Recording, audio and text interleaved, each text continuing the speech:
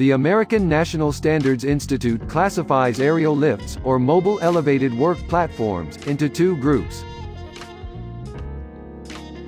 Group A consists of mobile work platforms that move vertically, but stay within the tipping lines of the machine. Scissor lifts are an example of Group A mobile work platforms. Group B consists of aerial lifts where the platform extends past the machine's chassis. A standard boom lift is an example of a Group B mobile elevated work platform. Each group is divided into three types.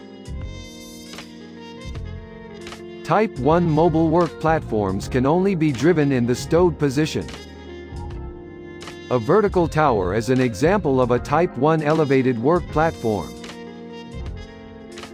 Type 2 work platforms can be driven while elevated, but can only be controlled from the bottom operator panel.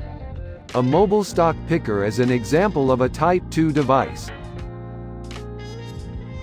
Type 3 mobile elevated work platforms can be driven while elevated, and are controlled from the work platform. An articulating boom lift is an example of a Type 3 mobile work platform.